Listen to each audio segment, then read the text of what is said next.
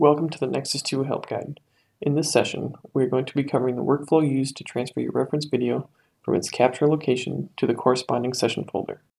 This tutorial will cover how to transfer your reference video using the file transfer window and the pipeline operation.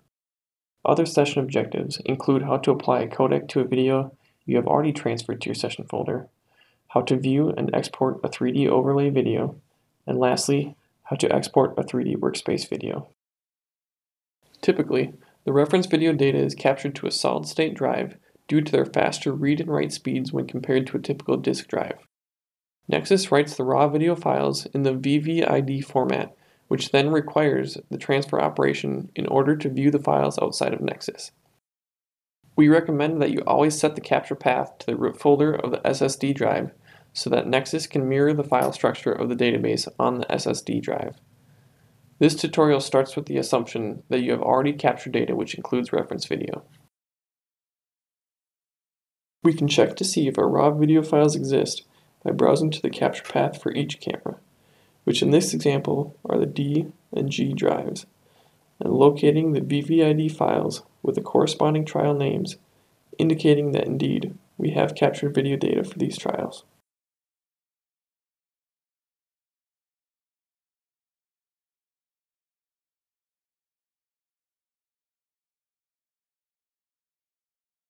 In the upper right-hand corner of the Data Management tab, you will find a button to show or hide the File Transfer Batch Processing interface.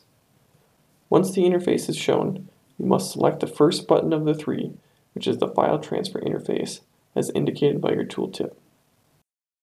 This file transfer window will show all trials for which you have not yet transferred the reference video from the capture path to the corresponding session folder. It is important to note that even if you had two video cameras recording during the trial, there will only be one instance of that trial name in this list. When you transfer the trial, all video files associated with that trial will transfer to the session folder. You can select the individual trials you want to transfer or use the select options below. You can choose to compress your video by choosing a codec from the drop-down list. This list will include all video codecs installed and available on your PC. You may want to compress your video if you want to reduce the file size, therefore reducing the space required on your hard drive to store the video files. After clicking Transfer Files to start the transfer, a yellow M under the file's header appears indicating that the video or movie file has been transferred to the current session folder. Now that the video has been transferred, we can view the video data within Nexus by looking in the camera view for each reference video camera. If we click the hyperlink from our data manager, we can see that the video has successfully transferred and is now in the session folder with the rest of our data.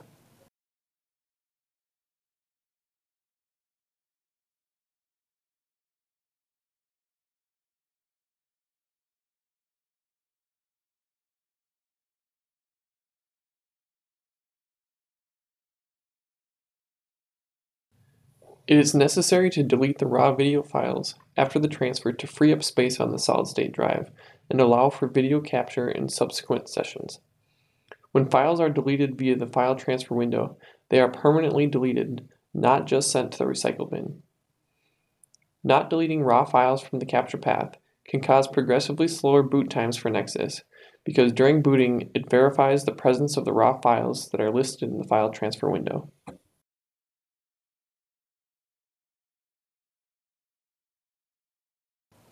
When you delete the selected files from the file transfer window, this deletes the raw video file from its original capture path and removes the entry from the file transfer window.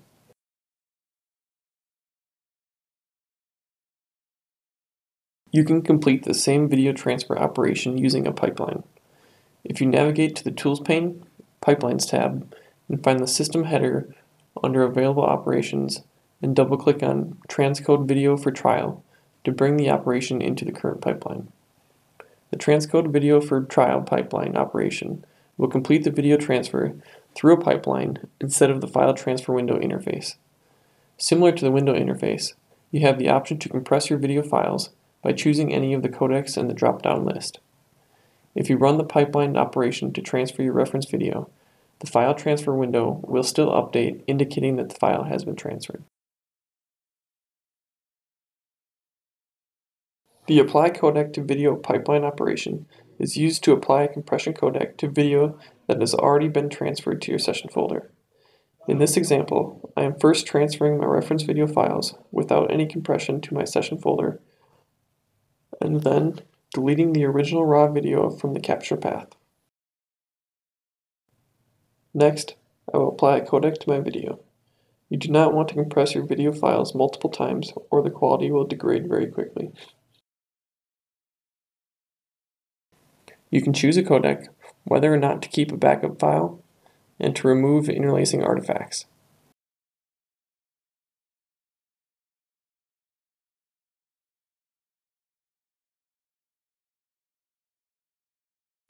If we navigate to our session folder, we can see the backup video file and our smaller compressed video file.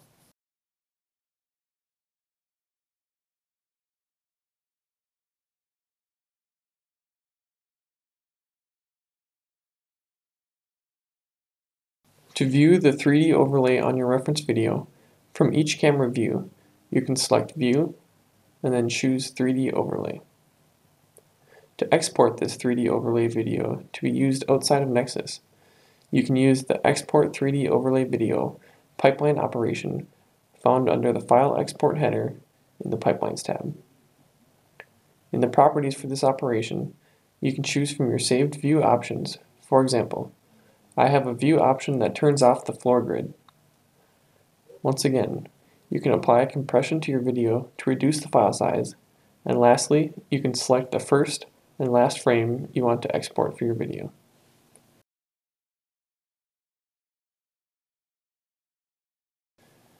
If we navigate to our session folder, we see a new video file with dot .overlay appended to the name.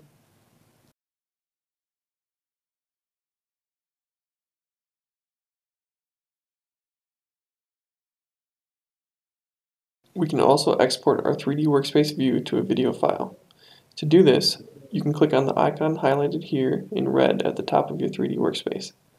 The resulting view is dependent on the current view of your 3D workspace.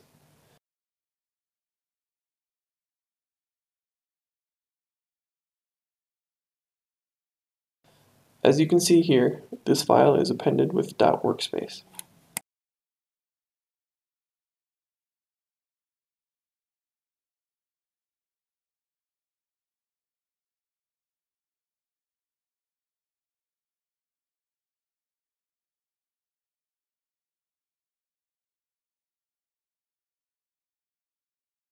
Thank you for watching this video.